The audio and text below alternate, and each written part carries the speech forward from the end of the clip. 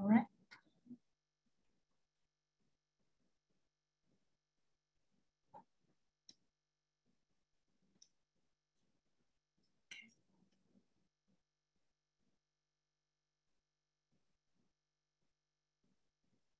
Let's just wait a few more minutes so that we can have all the others come in and join us.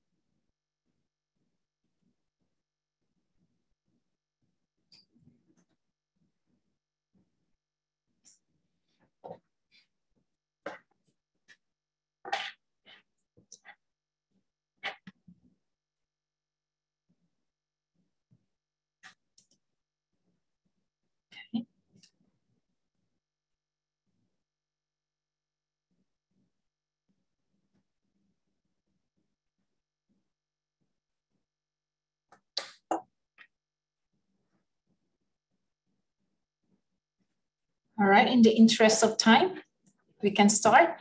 Okay, good afternoon, everybody. My name is Dr. Grace Casaclan Versosa, and I'm honored to moderate today's cardiology grand rounds. So just a quick reminder.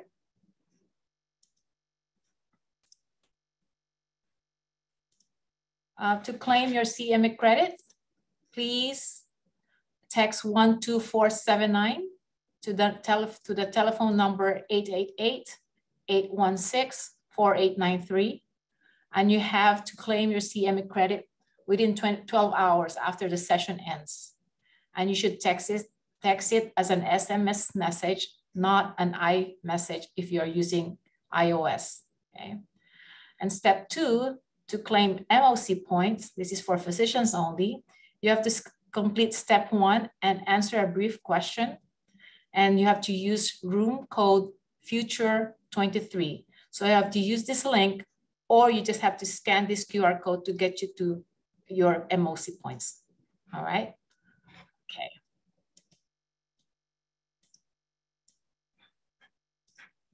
Sharing that. So this is also being recorded, so everyone will have a chance to view this presentation at a later time. So it is my pleasure to introduce our distinguished speaker and panelist.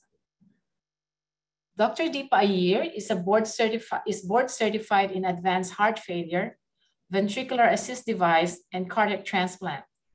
She is an assistant professor of medicine at Rutgers Robert Wood Johnson Medical School, the medical director for the VAD program, and the program director of the heart transplant program at Robert Wood Johnson University Hospital. Dr. Iyer's clinical and research interests include the management of patients in cardiogenic shock with mechanical support, LV recovery after LVAD implantation, immunology, pre and post heart transplantation, infiltrative cardiomyopathy, including amyloid, pulmonary hypertension, and peripartum cardiomyopathy. Dr. Iyer loves to teach and has mentored many fellows, students, residents, and even nurse practitioners. She participates in transformational leadership at the hospital to incorporate protocols that will improve survival of our patients in cardiogenic shock. She is also looking into the use of AI, artificial intelligence, to ensure access to care for heart failure patients, early detection of disease, and optimization of therapies. Her talk today is entitled Cardiogenic Shock, Clinical Pearls and Evolving Paradigms of Treatment. She will discuss the use of temporary circulatory support and multidisciplinary approach to shock. Our panelist today is Dr. Kenneth Dolnuan, one of our heart failure specialists. Dr. Dolnuan uh, completed his training at the University of Kentucky and was an assistant professor of medicine at the University of Louisville before joining us here in Robert Wood. And most importantly, he is my kababayan. So without further ado, Dr. Iyer, please. Thank you, Grace, uh, for that introduction. It's been an honor to be here.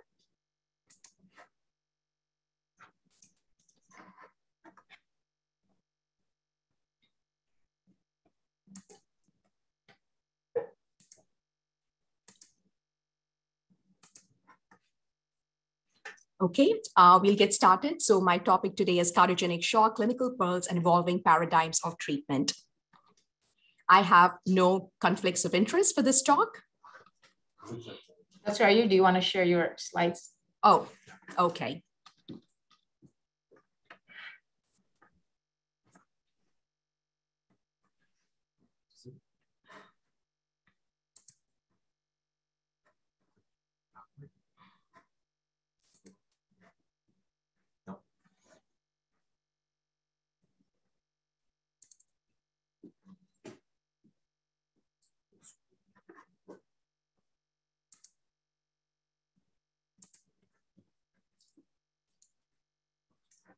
Okay, are you able to see it now? Yes. Um, so I have no disclosures. Um, so the purpose of this talk is threefold to define and identify cardiogenic shock, uh, treatment options for cardiogenic shock, and then again, introduce the shock team multidisciplinary team approach. When we talk about defining cardiogenic shock, we've had multiple definitions from the shock trial, the IABP shock 2 trial, as well as the European Society of Cardiology Heart Failure guidelines. However, to make it simple, the definition that we use is a hemodynamic definition, which includes marked and persistent systemic hypotension, defined as systolic blood pressure less than 90 millimeters of mercury for at least 30 minutes, or the use of pressors or inotropes to maintain systolic blood pressure greater than 90. We, when we have a Swan-Ganz catheter in place. It's basically defined as a reduction of cardiac index less than 2.2. In addition to that, elevated left ventricular filling pressures with a pulmonary capillary wedge pressure greater than 18. For those in the cath lab, we have the cardiac power output, which is defined as mean arterial pressure multiplied by cardiac output uh, uh, divided by 451 if it is less than 0.6 indicating LV failure, and the pulmonary artery pulsatility index, which is an indication for RV function if it is less than one indicating RV failure. And again, clinically, when you know systemic hypotension along with evidence of end organ perfusion is definitely what defines cardiogenic shock, including altered mental status, cool extremities, uh, reduction in uh, urine output, elevated lactate less greater than two, and acidosis. So etiology is multifold. The most common cause is um, AMI, acute myocardial infarction, cardiogenic shock. We could also have valvular causes, which is acute ischemic mitral regurgitation or ventricular septal free wall rupture as a complication following AMI, and any other cause of acute ventricular dysfunction. We see post-cardiotomy. We see acute pulmonary myocarditis, end-stage cardiomyopathy with decompensation, uh, cardiogenic shock caused by incessant refractory prolonged tachyarrhythmias, post-cardiac arrest, pulmonary embolism for the right side, severe, severe valvular heart disease, and again, aortic dissection with acute severe AI, some of the, some of the etiologies for cardiogenic shock. Um, I like this cartoon because it really tells us what's the current concept, you know, for the pathophysiology. So it all starts with, you know, an initial insult. It could be myocardial infarction. It could be myocardial dysfunction, you know, where there is a decrease in the systolic function. So there is a decrease in the cardiac output and stroke volume that in turn causes a decrease in systemic perfusion. So it's a hyperperfusion uh, environment. Decrease in stroke volume also causes hypotension. It causes decrease in coronary perfusion pressure and predisposes further to ischemia. On the other hand, when you have uh, diastolic dysfunction, there is increase in LVEDP, there's pulmonary congestion, it backs up into the lungs, you have further hypoxia and ischemia. And ultimately, the compensatory mechanisms you know, come into place, as well as we have to remember there is a systemic inflammatory response as well that causes inadvertently towards the end, the more time the person is in shock, what is called as a vasodilatory state. Eventually, there is progressive myocardial dysfunction and death. Again, if there is early capture, you know, in terms of those who have acute myocardial infarction and they're revascularized, there is relief of ischemia, but that's not all to it in cardio, uh, in cardiogenic shock pathophysiology. I like this slide because it shows us the mechanistic drivers of different shock phenotypes. Again, starting with an initial uh, insult, which causes low cardiac output. That translates to hypoperfusion, hypotension, but then it also stimulates a whole array in the body, including uh, the microcirculatory dysfunction. You have metabolic dysregulation, you have coagulation upregulation, you have immune dysfunction, you can have concurrent infection, you have the activation of the SIRS, and you are vasoplegic. And with all these, there are various malperfusion phenotypes which ultimately lead to multi-organ failure and death. Again, hypoperfusion is caused by increased catecholamines, which actually initially is a mechanism to cause uh, peripheral arterial vasoconstriction and maintain perfusion to vital organs. Vasopressin and angiotensin levels too increase, which increases coronary and peripheral perfusion, but ultimately causes increase in systemic vascular resistance, leading to further LV impairment because of decreased LV unloading. There's an activation of neurohormonal cascade, which initially promotes salt and water retention and helps to increase perfusion initially, but that's at the cost of worsening pulmonary edema later, and different reflex mechanisms that increase systemic vascular resistance and further exacerbate, you know, hypoperfusion. The systemic inflammatory response is an inappropriate vasodilatation that is seen as time in shock increases. This is a systemic vascular resistance less than 900 despite pressors. Because of this, you know, this um, it's thought to be due to different factors, along with release of the IL-6 as well as nitric oxide. But there's also impaired perfusion of the GI tract, and because of which there is transmigration of bacteria. You know, there is sepsis that further causes vasodilatory state, and again, the risk for SIRS increases with the duration of shock.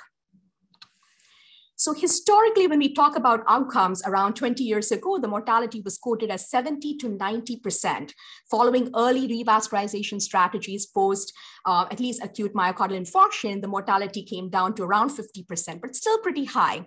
Early predictors for risk factors for higher mortality included older age, female sex, uh, of course, LAD territory or a large, you know, uh, widowmaker MI, multivessel CAD, a history of cardiomyopathy and stage cardiomyopathy, as well as diabetes when we talk about you know the current, um, you know, um, the, the existing medical treatment for shock, this included vasoactive medications. We used both inotropes such as uh, milrinone and dobutamine, as well as pressors.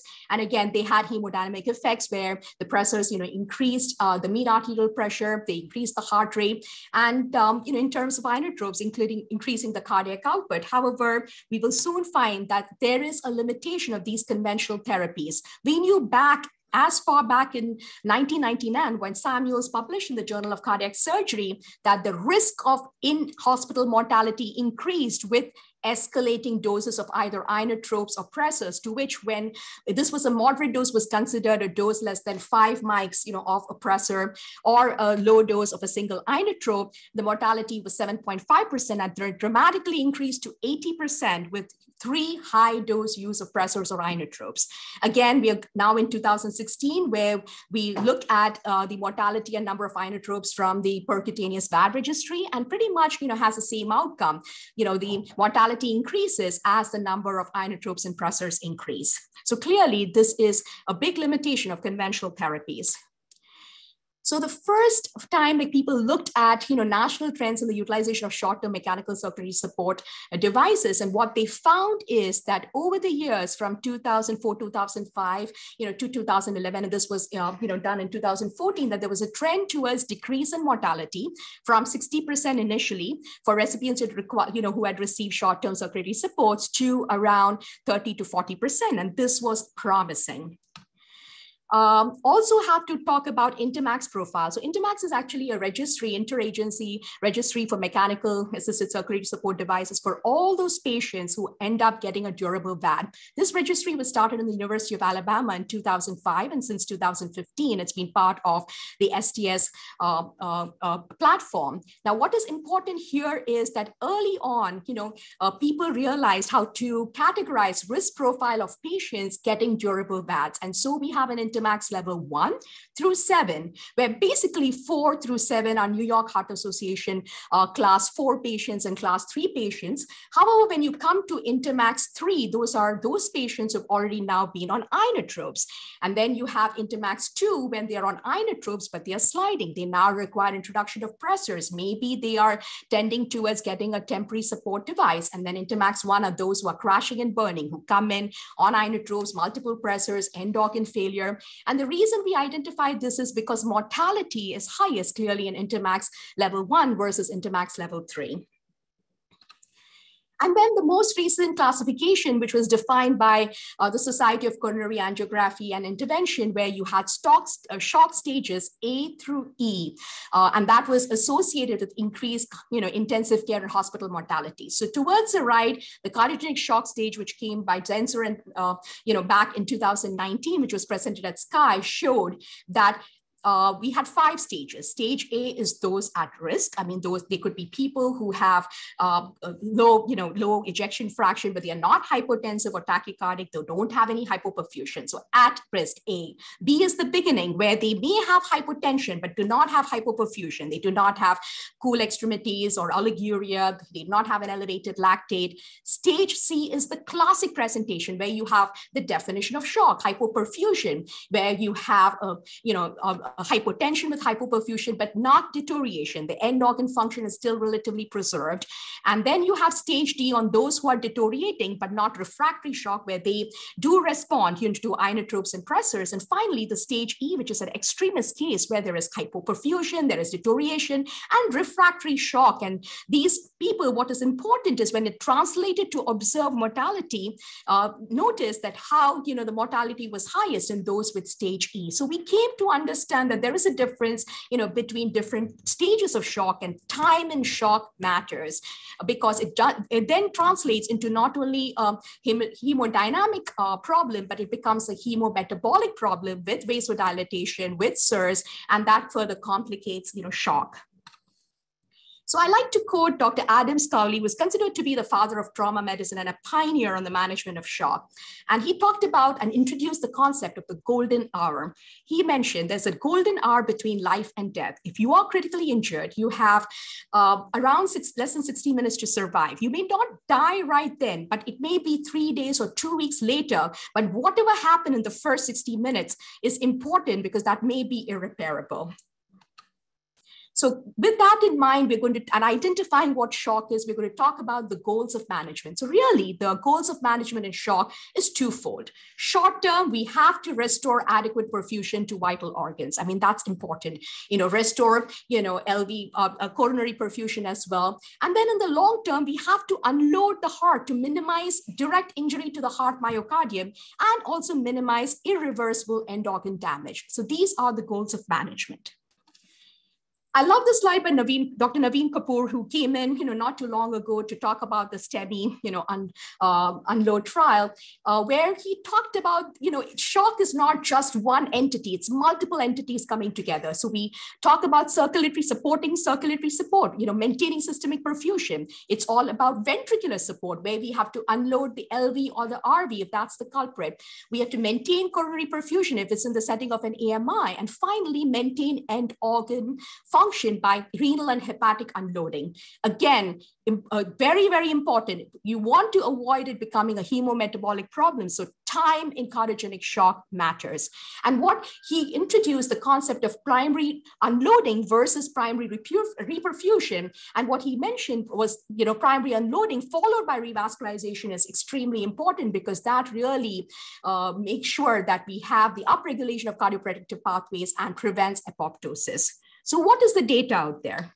We have a lot of data starting from you know 2016 where we uh, where we uh, they showed survival to one year in those patients where LV unloading pre-PCI you know was much better 43% versus 13%. You had from the CVAD uh, study which was the percutaneous VAD study which was back in 2017 they talked about survival to 30 years so not only uh, 30 days that there was an increased survival in those who had gotten LV unloading uh, prior to PCI. Talked about survival to discharge, similar outcomes. Talked about, again, survival to discharge. And then finally, survival to explant. So even those who have been implanted with temporary mechanical support devices, you know, uh, it was very important that pre-PCI, they had a better survival compared to those post-PCI. So this introduced the concept of LV unloading in a cardiogenic shock situation. Um, and that was the beginning of a different trend and paradigm shift. So we've already uh, heard this from Dr. Navin Kapur, but just to reiterate, what does LV, LV unloading do? So LV unloading really, what it does is it unloads the LV. So it decreases myocardial oxygen consumption. It actually increases cardiac microvascular perfusion into the infarct zone, very important. And then it causes hemodynamic stabilization. God forbid, should there be reperfusion arrhythmias. And during reperfusion, there's also myocardial stunning. So it protects the heart through this and reduces acute infarct size. This is what it actually does to the heart itself. And then of course it maintains perfusion, it maintains, you know, end organ function by maintaining perfusion. So it's really twofold and this is the paradigm shift.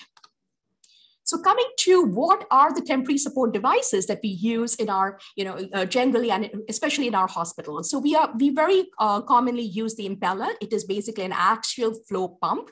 You know, what it does is it unloads the LV, so removes blood from the LV and puts it back into the aorta. Now, depending on the level of support and the way it is uh, uh it is introduced, you have you know, LP 2.5 basically stands for the level of support. So LP 2.5 gives 2.5 liters liters of cardiac output, 3.5 is 3.5 liters, 5 and 5.5 are uh, uh, respectively, that's the cardiac output given. The 2.5 and 3.5 can be placed you know, in the cath lab through a percutaneous approach, and the 5 and 5.5 requires a surgical cut down. Usually it is placed in the axillary artery. The advantage is there is you know, better mobility and decreased risk of infection when the groin is spared. And then we also have uh, the Impella RP for right-sided support as well as the ProtekDuo. The advantage of that again is introduced through the neck and so spares the groin and allows for ambulation, which is extremely important for a patient. The tandem heart is not something we use here. Again, this is also another temporary uh, uh, uh, mechanical circulatory support device. What it is, is it, you know, it unloads the right, the left atrium, thereby unloading the left ventricle. However, you know, so this is a centrifugal pump, pump that is used. Um, I think one of the main challenges of this technique is it requires a transseptal puncture. And so very often, you know, with the EP colleagues and our structural colleagues that is done. So again, it is a preference based on the center, depending on their level of expertise to pick and choose what is the best temporary support device for them. We definitely have the ECMO that can be placed both centrally and peripherally. It basically takes over the entire cardiac uh, pulmonary circulation. So here you have also ensure that there is oxygenation. Remember, the ECMO does not unload the left ventricle or the right ventricle. And so very often what happens is that you have, after a period of time when there is passive blood flow into the left ventricle and it does not empty, the inherent function is not that great, you may have to put in a separate pump, maybe something that goes directly into into the LV and empties out the LV, which is called as the venting phenomenon. Usually the Impella is used for such venting. Also, since the ECMO cannulas, especially the arterial cannulas are very big, there is, a, and they're usually introduced if there is a peripheral ECMO through the groin, through the femoral, there is a risk of limb ischemia on that side, and that has to be monitored. And sometimes, you know, we use um, either an antegrade uh, 10 French catheter through the SFA or an 8 French catheter retrograde to the posterior tibial in order to maintain perfusion of the leg where the arterial cannula of the ECMO is placed. And then we have surgically uh, inserted uh, biventricular support, which is the Mag, and it you know, supplies up to um, 10 liters of cardiac output. So that having been said, not all temporary mechanical circulatory support devices are equal. And I know I uh, did not talk about the balloon pump that has been our go-to temporary mechanical support device for a long time. You know, the balloon pump typically, you know, uh, is placed in the descending aorta. You have the balloon uh, uh, timed for inflation during diastole where it increases um, coronary perfusion and your deflation, uh, sorry, uh, uh, uh, is, is time for inflation during um, uh, diastole where there is increased coronary perfusion and deflation during systole where it, you know, decreases the systemic vascular resistance. That having been said, you know, it only provides 0.3 to 0.5 liters per minute of cardiac flow. And, um, you know, very often we have now stayed away from it. It is definitely useful to provide a temporary uh, support as a bridge to decision before something else needs to be done. We do have balloon pumps which are implanted through the axilla, axillary artery, and they can stay there for a long time. And we've been very successful in our hospital doing that. Uh, again, the uh, Impella, it basically is a is uh, it unloads the LV and you know introduces blood into the aorta. We talked about the tandem heart and the VA ECMO.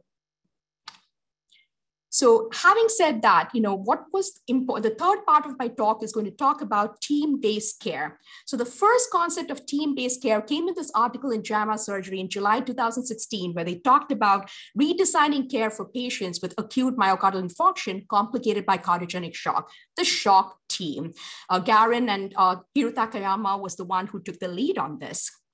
And then the question is, why a team approach? Well, for one, prior team experiences have been successful. We have been great at uh, handling, you know, uh, rapid response teams for improved, uh, you know, early recognition and improved survival, the trauma team, the stroke teams.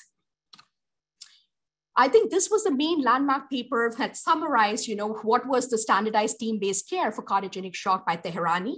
And this was published in 2019.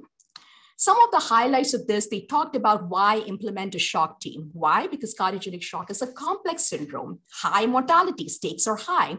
Patient management still remains highly variable. And so shock team and protocols reduce this variation, help to early recognition, people come together and improve outcomes this is a busy slide, but this was one of the first national cardiogenic shock initiative that was um, initiated at Detroit Henry Ford, and that spread to other centers. But I want to give you another slide where I will summarize what they did. So basically, uh, their go-to MCS was the Impella, and what they did was that uh, they basically started putting in all patients who came in with you know cardiogenic shock in the setting of AMI, they introduced unloading first. So they put the Impella first, then went on to revascularize, and they did a right heart cath. Now those those who had a cardiac power output greater than 0.6 and a pulmonary artery pulsatility index greater than 0.9, if you recall an intact, you know, LV function, and RV function, then at that point, they continue to just titrate down the pressors and inotropes. But for those who had a cardiac power output less than 0.6, um, and um, you know, in those, they definitely thought about you know further uh, you know uh, continuation you know of the Impella support. And then for those who had a PAPI which was persistently low, they considered RV support as well. And then they reiterated. They looked at you know weaning parameters. So this is what they did in the setting of AMI, where all of them got unloaded first, and then uh, the decision further to either keep it as a bridge to recovery or a bridge to another Impella, which is a 5.5, so that you get more support, or a bridge to, you know, uh, decision making towards durable VAD or transplant, or a bridge, unfortunately, to palliative care. You know, all of these, you know, were discussed. This was the first one, and a lot of centers have been part of this. And then uh, what they found is historically with these collaborators, the National Cardiogenic Shock Initiative collaborators, they published that uh, classically when the survival was just 17% in 1973 for these cohort of patients with what they did with the shock team approach the survival was a whopping 72% Another one initiative was the cardiogenic shock algorithm, and this is from the Inova Heart and Vascular Institute. Similar concepts, but they expanded identifying shock to not just those patients with cardiogenic shock with AMI, but also with non-AMI cardiogenic shock in a similar platform. Again, remember the right heart cath was key to early identification, and then there was a shock team approach where they came together and then decided what was the best case scenario for percutaneous mechanical circulatory support. Again, what's interesting is look at um, the numbers. So we had, it went live in 2016, and then they did um, uh, you know, interim analysis in 2018, once they had the shock team go live for around uh, one and a half years. And what did they find? what uh, sorry what they found is that in 2016 you know when you talk about uh, survival survival was 47 percent when you go, and this is, um, uh, you know, this is the beginning. And then they divided the red stands for those who have had acute myocardial infarction, and the blue is for all of those who came in with acute decompensated heart failure cardiogenic shock. So notice 44% in January 2017 went up to 82%. 59.6% went up to 72.2%. This was whopping results just by implementation of the shock team. And um, not only that, there was also improved survival with early support. They realized that time to support is essential. You know, initially when they came in, you know, in the first hour, they found that there was a 27% chance of death in the first hour following shock. And that increases to 75% chance of death at 32 hours. So when they calibrated, they came to a conclusion that there is a 9.9% increase in mortality for every hour the patient is in shock. And that was pretty dramatic. So coming to, they also looked at factors associated with mortality and as expected, pressors at diagnosis. So longer the duration of pressors at diagnosis, greater than 36 hours, patients had worse, you know, 30-day uh, mortality. Those who have had elevated lactate greater than three, cardiac power uh, output, you know, at 24 hours less than 0.6, PAPI at 24 hours less than one, which we already know comes in the definition. And all of these, you know, which we already recognize were associated with higher mortality, but timing was extremely extremely important.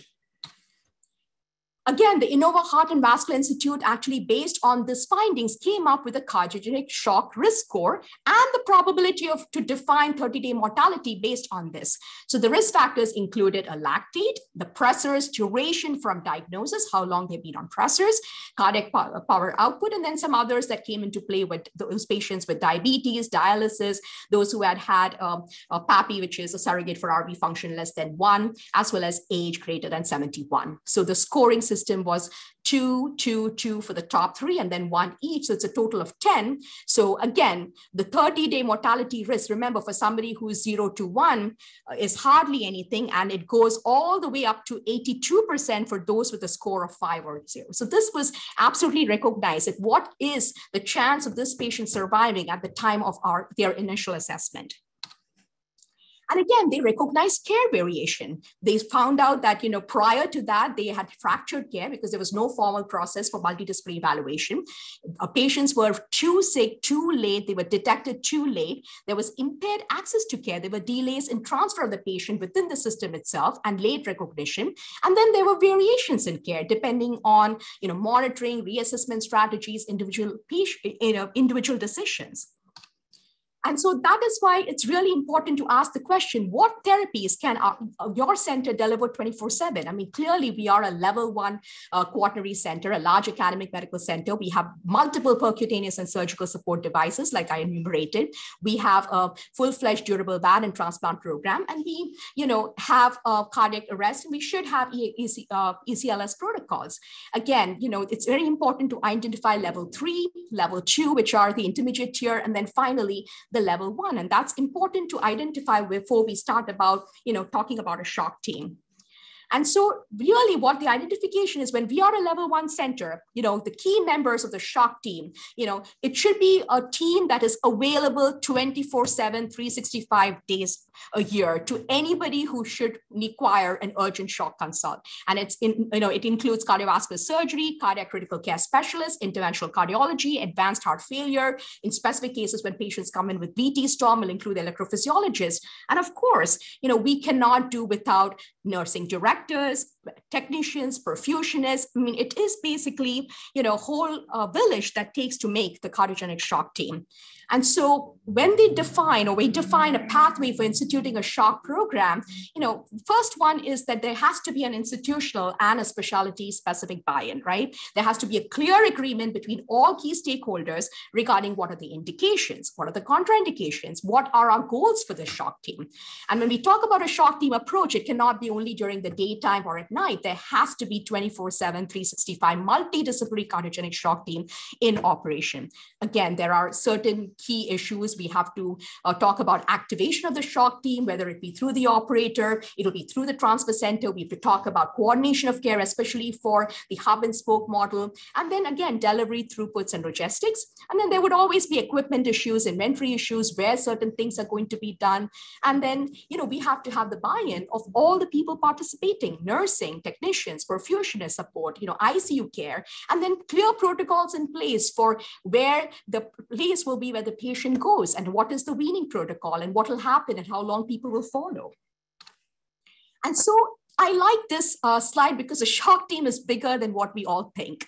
You know, the shock team is in the crux. You have, you know, the transfer center. The transfer center talk, calls the shock team. The shock team makes a decision, you know, with where the patient goes. Is the patient going to require uh, unloading and revascularization in the cath lab, or is he going to go to the OR, or is this a patient with just advanced heart failure who would need a bigger unloading and a plan to decision making with, you know, advanced therapies?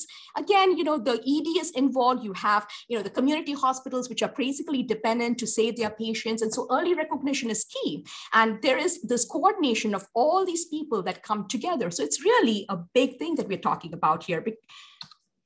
And so when we talk about cardiogenic shock scorecard, I think the score is early recognition. We're talking about timely therapy.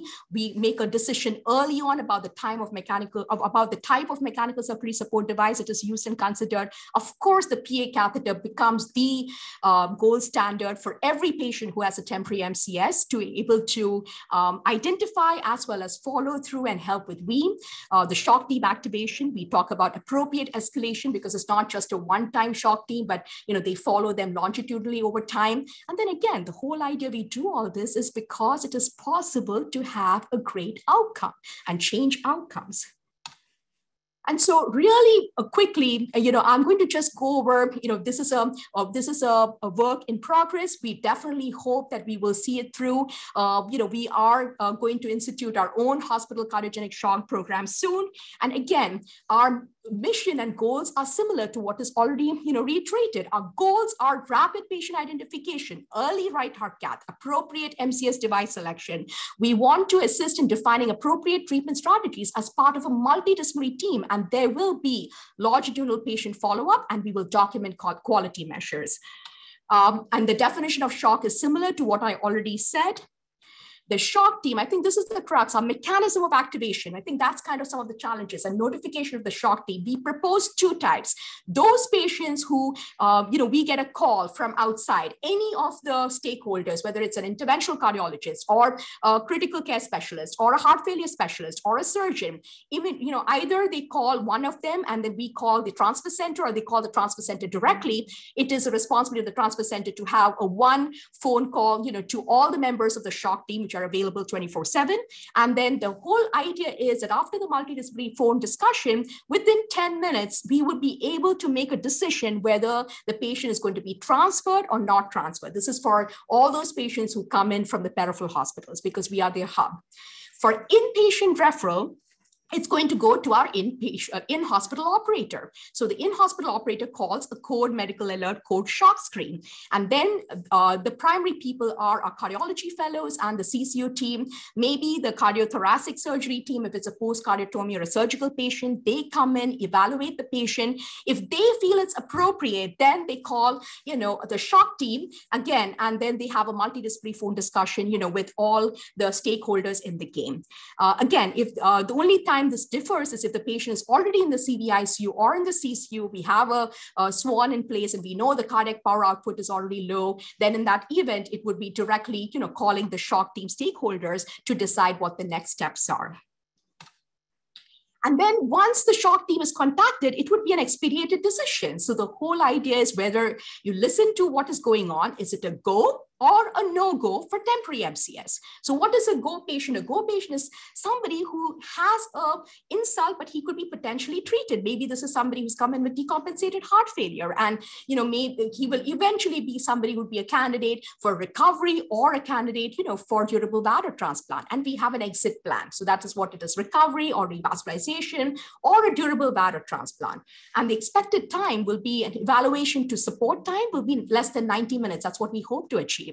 No go is when that shock has progressed, the time in shock has increased. So it's come to a point where there is less likelihood of success. I mean, the lactate is already elevated. He's already in end organ failure. He's now in sepsis. And so there is no exit strategy. So that would be a no go.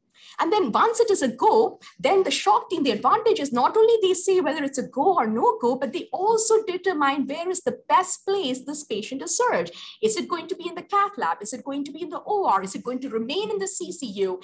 And, you know, uh, put in, you know, uh, the next step. So usually these are the things that are, you know, going to be uh, talked about. And again, a go does not clearly need to be MCS. Even if it's a no-go for MCS, you know, there would be, should the patient be transferred or should the patient stay here in the CCU? So it's basically optimizing management.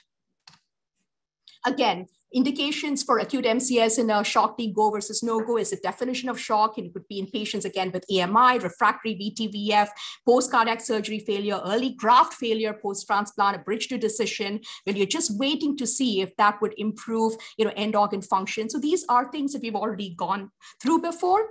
And then I think the, this is where the contraindications, the no-go, uh, where we are not going to put an MCS is on the gray zone, but uh, that's something we could definitely socialize. Uh, you know, when there is active malignancy with life expectancy less than one year, you know, there is severe aortic valve regurgitation, aortic dissection. Usually it's a surgical, you know, issue. If there is any current intracranial hemorrhage, severe peripheral vascular disease, advanced chronic liver disease, advanced, you know, respiratory failure. So uh, with home O2 dependence, again, these are things that can be discussed and socialized. And then relative contraindications also. But in general, I know that when we talked about shock programs all over the country, patients with end stage renal disease, those who are morbidly obese, weight greater than 140, because um, in the advanced therapies world, usually a BMI of greater than of uh, you know 40 is uh, not really considered an ideal candidate for transplant therapies or VAD. And so all of these things definitely you know come into place.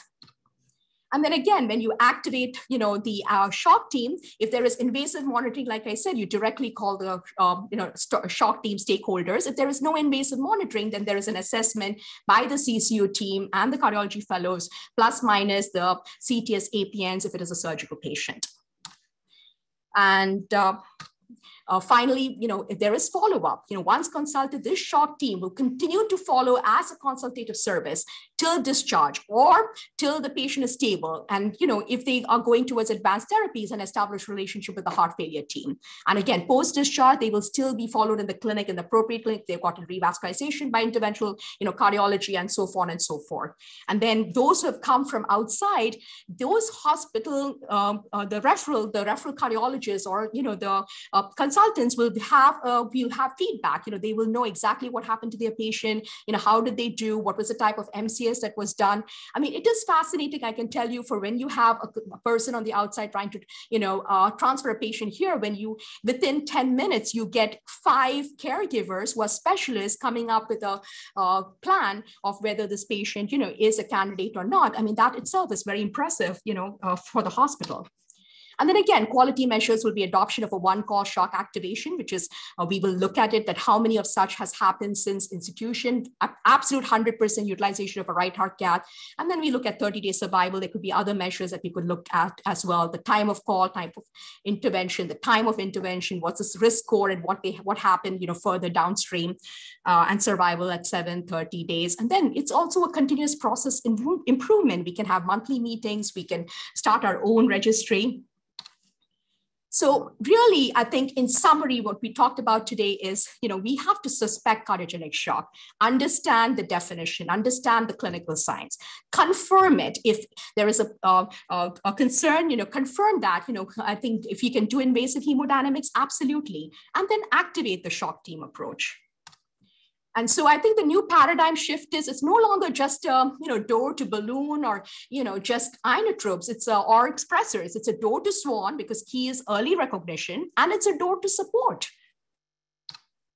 And so again, just reiterating the team approach. Why? Because there is high risk clinical condition with various complexities and etiologies, and the stakes are high, high mortality time matters. Time in shock matters. Early intervention helps the patient. Uh, they truly require multidisciplinary collaborative care. And then we need to understand downstream resources, continuum of care. And then it helps to have a clear goal, implement standardized protocols and practices, and it reduces error and improves safety. And then we have opportunities to reflect on what we do and review and improve quality so that we can help the sickest of patients.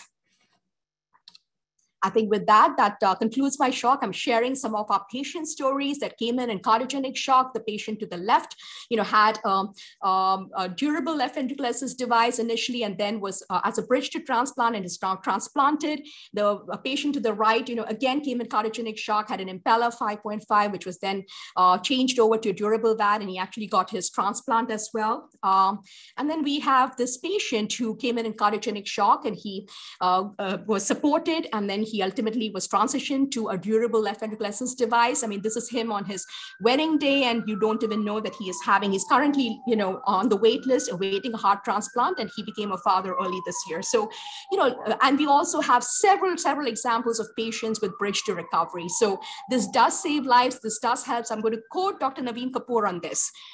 Shock uh, you know, know the prognostic factors of a patient in shock, but it is reversible potentially when recognized early.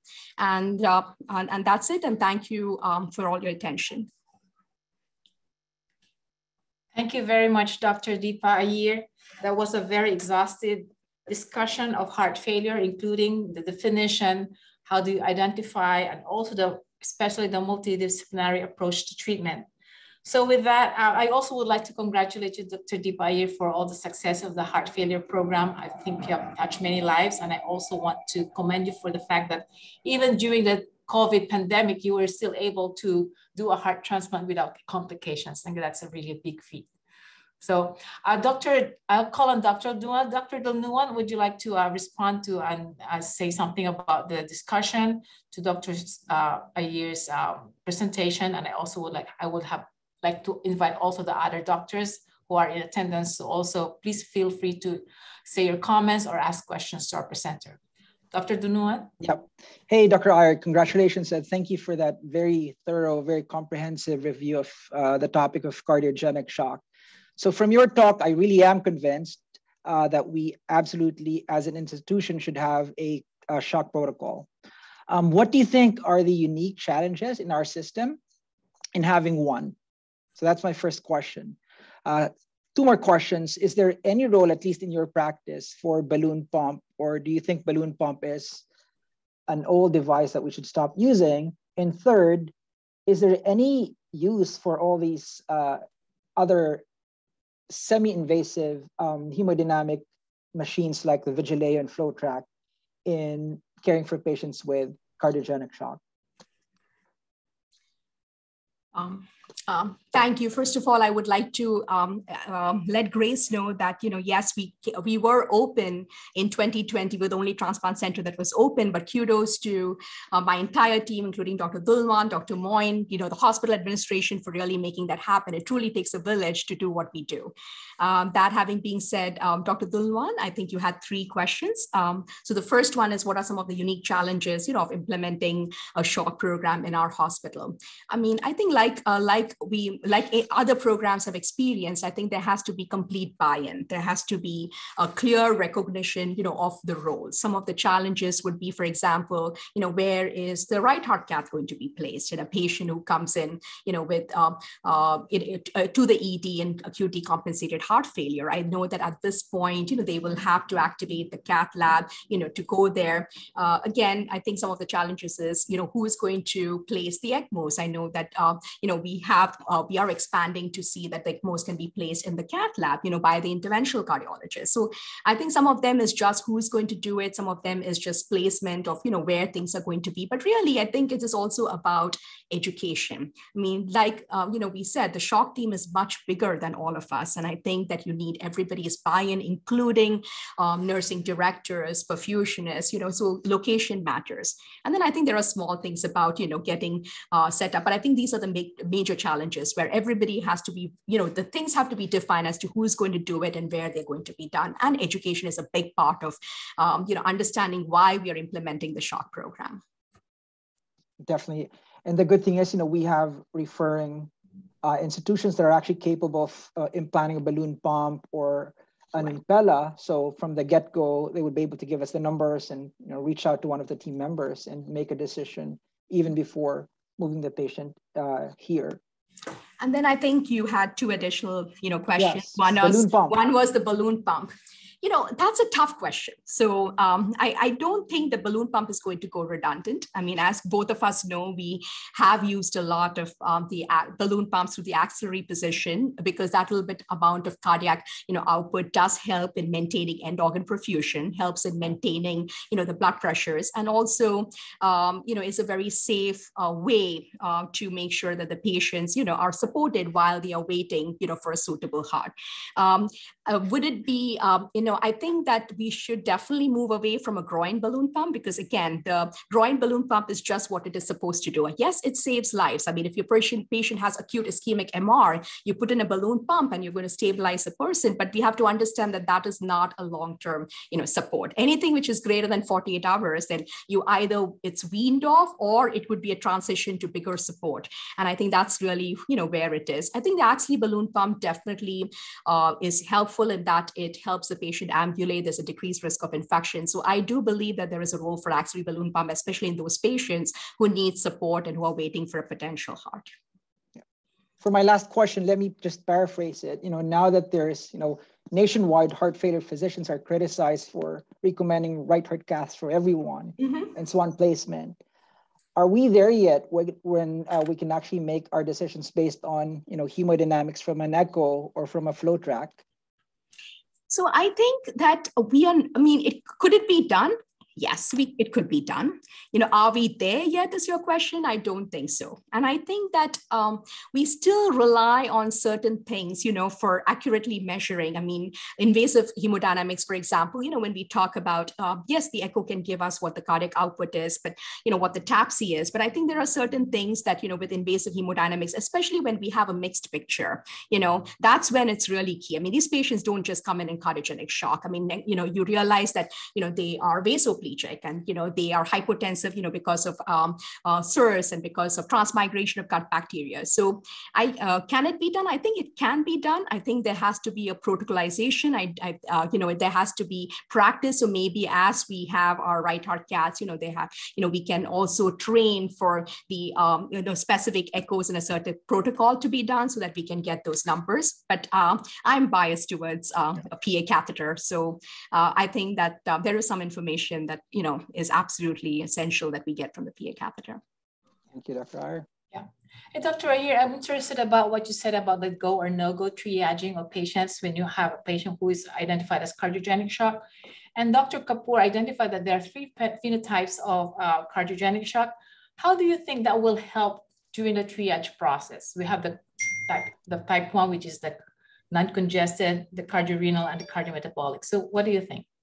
So I think that um, irrespective of you know what it is, I think it's important to identify cardiogenic shocks. And we talk about go and non-go. You know, I think the first thing is identification because very often, you know, I think um, MCSs could be placed in patients which are not truly cardiogenic shocks. So when we talk about the, uh, you know, when we talk about cardiogenic shock, I think the first step is that identifying cardiogenic shock and also identifying how far out they are. Like for example, Dr. Kapur said, time in cardiogenic shock matters. So if there is a yeah. patient that we get a referral from where they are, uh, you know, they are already maxed out on pressors, they have an elevated lactate, they don't have a mental status, you know, they are oliguric. I mean, we uh, identify that those are too far out. And at that point, you know, so I think that that's what helps in uh, triaging these patients when you have a shock team. Plus, let's assume that, you know, we have identified cardiogenic shock and this patient needs more support. You know, from the get-go, I think we're all in agreement as to the, uh, the intensity of support that is needed. If we anticipate that patient already has a little bit of end organ dysfunction and requires longer support, we may probably end up, you know, putting an Impella 5.5 rather than an Impella CP, you know, in the cath lab. So it also depends on, uh, like you said, if it is MI, maybe they go to the cath lab, they get unloaded, they get revascularized, it's shorter support, and then, you know, we try to wean. If it is somebody in patient with acute decompensated heart failure or in, you know, myocarditis who needs longer term support, then they get a surgical option. So I think the triage really helps us, you know, because we have all the stakeholders, we have the interventional cardiologists, we have the cardiac surgeons, um, and so that really helps in kind of doing it early on rather than waiting. Okay. Yeah, so I invite all Dr. Dave Share and Dr. Schindler, if you have any comments, please uh, feel free to, to ask your question and or your comment.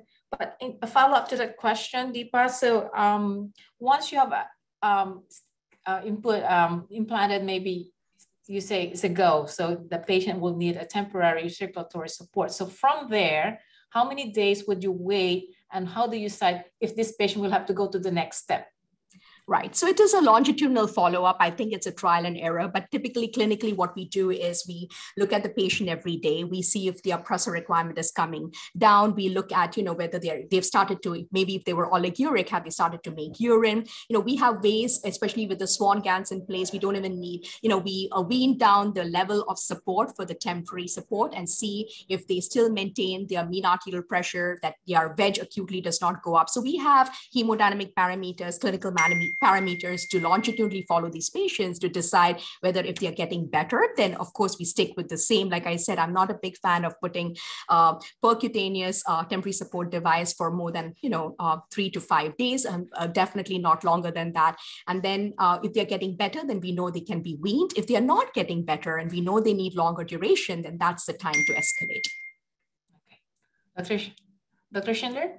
Uh, I just have a question. You know, I like adults with congenital heart disease. So, uh, any comments on anybody you've taken care of, Dr. Iyer? And I mean, all these years, anybody with uh, pulmonary hypertension, tetralogies, whatever, anything you want to tell me, educate um, me. Yeah, sure. Actually, we have, uh, we uh, were fortunate that we had, ref, uh, we had two patients who had tetralogy of Fallot who were surgically corrected. Of course, in their adult life, you know, they developed um, end stage heart failure and uh, we did take care of them, both of them. I think, I believe both of them were supported, you know, on an Impella 5.5 and both of them have received a heart transplant last year. So it was two in one year.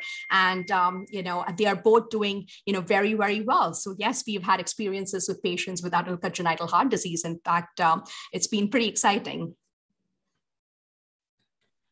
Okay, so I have more questions. I'm very interested in your topic and I'm glad I'm moderating this so, so I can ask you directly. So uh, you're familiar with, uh, I'm sure you're very familiar with all the different uh, temporary circulatory support that we are using for patients in cardiogenic shock. So why do you think one would respond to this kind of support while the others won't? Will it be the etiology? Will it be the stage they're in? Or will there be their age or comorbidity? So what are those factors that will influence success? I think it'll also depend on the you know level of support what they need at the time of initial you know evaluation. Like for example, if a patient comes in in acute decompensated heart failure, we know that uh, the LV is already dilated; it's not going to recover. So we know that the temporary mechanical circulatory support is not a bridge to recovery; that it is a bridge to stabilization. And once stabilized, you know, since the um, patient already has end stage you know heart failure and the heart function is not going to improve, is a is a bridge to further decisions, including including advanced therapy. So in such a case, you know, this or if you already know the patient in our clinic and they're following up with us and how they decompensate, you know that that's the next step. So at that point, we choose the biggest support available and preferably a support, you know, through the neck so that ambulation is key to all patients. It's very important that you don't have any groin infection, that they're able to ambulate because, you know, they undergo a slur of tests before they are candidates for advanced therapy. So in these patients, we by default choose surgical support, we keep them because we know that they are not bridge to recovery. They are a bridge to, you know, advanced therapies or, you know, so that's kind of what we do. Now, if the person comes in an acute MI and then obviously, um, you know, he's had a stunned myocardium, you unload the heart, you revascularize, revascularization is successful. And then at that point, it is going to be a smaller temporary support device. You know, we don't need complete support, but you need to just tighten the time of myocardial stunning. And then uh, you're pretty confident that you'll be able to wean them off in the next couple of days. So I, um, somebody with myocarditis, I still remember a young girl who came in, you know, with acute fulminant myocarditis. In fact, Dr. Dulman did an absolute like, you know, uh, a biopsy during that process. One of the few times we do a biopsy to really get a clinical diagnosis because um, it, uh, you know, that uh, makes a change in what the outcomes are. And I think this, you know, she was initially supported on an ECMO, but the cannulas were so big and she started developing, you know, limb ischemia. So we then changed her over, you know, to have an Impella, you know, on from the axillary artery approach. It was a surgical, you know, placement. And then she had ProtekDuo on the right side, again through the neck, so we could spare the groin. And then ultimately, you know, we supported her and she improved to the point that she was completely explanted. And not only that, she was on guideline directed medical therapy and she has also had LV recovery. So, um, you know, again, sometimes you have to longitudinally follow these patients and then decide what the next best step is depending on their clinical response and their hemodynamic parameters. Okay, right. Okay. Anyone else? Dr. Shanley, any more? No, I have just have one more, Dr. Iyer. So recently, what is your take about uh, Impella? And I know this might not be related because you're talking about advanced heart failure, but I think the mecha mechanism, the pathophysiology is the same. With the DTU trial that we're now going to use Impella prior to revascularization. What do you think? What are your thoughts about that? I think that's the next step because there is enough evidence that shows that unloading in the setting of cardiogenic shock, like I explained in all those trials, does help not only 30-day uh, mortality, mortality to you know discharge. I mean, also longer. And I think we are just translating what we already know in this picture to those patients. Again, you know, the patient selection is key. That's why we're not selecting any patient who comes in with acute myocardial infarct. We are specifically targeting those patients who have the LAD territory because it's going to anticipate a larger mm-hmm. area of myocardium, which is compromised. And even though it is revascularized, there would be stunning, there could be reperfusion arrhythmias. And so, you know, the thought that we are first unloading and, you know, causing increased perfusion during the unloading period because you're decreasing the myocardial oxygen demand of that muscle, which is acutely ischemic, is really novel. And I think you're just translating that. So time will tell. I mean, I'm sure that it's going to, like I said, the paradigm shifts are always difficult. You know, when um, uh, Dr. Navin Kapur initially introduced the concept of unloading before revascularization, we were always so conscious about door to balloon time. And right. then there was a concept of door to unloading in cardiogenic shock. And I think we are translating that into our, you know, our clinical setting here. And the same thing too, many years ago, I'm sure Dr. Schindler, you know this too, that we never used beta blocker. And then suddenly now we're using beta blockers for heart failure. During my training, that wasn't no-no because it seems like beta blockers will just, you know, aggravate the heart failure. But now we just turned to using it as a, uh, as a first line um, medication for heart treatment for heart failure. So those are kinds of the so I'm just talking historical. You may not be, you might still be in grade school, Dr. Iyer, during that time, but yeah. Yeah, beta blockers is one of those which were loved, hated, loved. So we've gone through a lot of phase uh, with that. Right, okay. All right. Well, I think uh, if there are no more questions or comments, we're right on time, Dr. Iyer, 601, and we were able to tackle so many things. I was, we were able to ask questions. And of course, my personally, my own satisfaction too, because I, I was really very interested. So congratulations on your talk. So thank you all very much for attending this uh, uh, grand rounds and we'll see you next time. Thank you.